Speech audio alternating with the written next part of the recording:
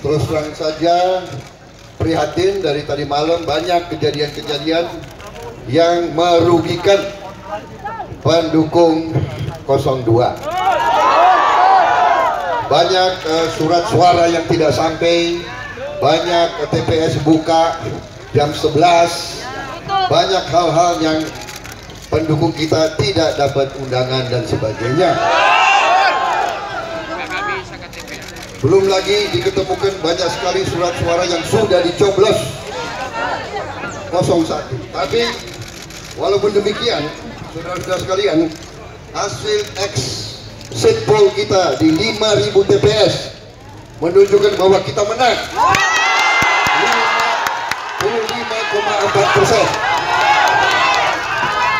Dan hasil quick count ini hasil quick count tadi exit poll hasil quick count kita menang 52,2 persen.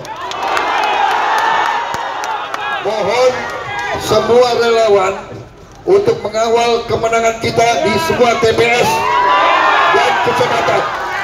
Dan kecamatan. Juga saya tegaskan di sini pada rakyat Indonesia bahwa ada upaya dari lembaga-lembaga survei tertentu yang kita ketahui memang sudah bekerja untuk satu pihak untuk menggiring opini seolah-olah kita kalah. Saudara-saudara sekalian, jangan terpancing. Terus awasi TPS, amankan C1 dan juga jaga di kecamatan, jangan lengah. Saudara-saudara sekalian, saya menghimbau pendukung-pendukung saya semuanya agar tetap tenang. Semua tenang dan tidak terprovokasi untuk melakukan tindakan anarkis.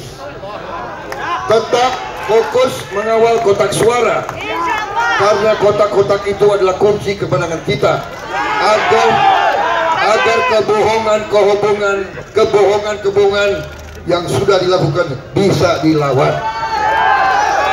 Saya tegaskan di sini kepada para pendukung saya untuk sama sekali tidak terprovokasi dan menghindari semua bentuk tindakan berlebihan, tindakan di luar hukum dan tindakan kekerasan apa pun.